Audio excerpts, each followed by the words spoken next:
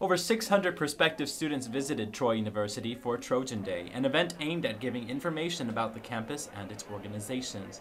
The visiting students were able to attend a browse session that included 115 of Troy University's academic departments and student organizations. Both Troy personnel and prospective students expressed their satisfaction with the event. We've had a great crowd, lots of wonderful people coming up, introducing themselves and getting information uh, about the School of Music and about Troy University in general. Everyone's welcoming. Like everyone that's like endorsing a club is very welcoming, and I enjoy that. In addition to seeing Troy and its organizations, there was a session headed by Tiffany Schmidt, Director of Enrollment Services, concerning the admissions process and scholarship opportunities.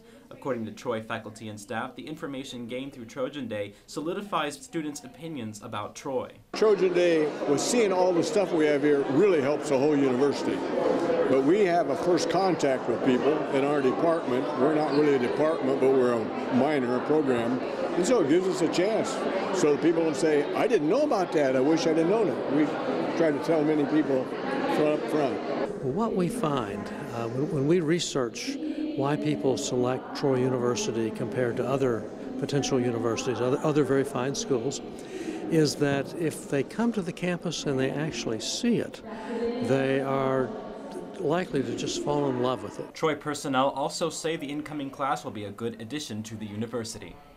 I think it's a very good class. Uh, I think it may be one of the academically most talented classes we've enrolled. And uh, it, preliminarily, I, I, think I can say that based on test scores and GPAs. We've had all kinds of students. We've had some with, I think a lot of them with tremendous potential. We're getting awfully good students at Troy University.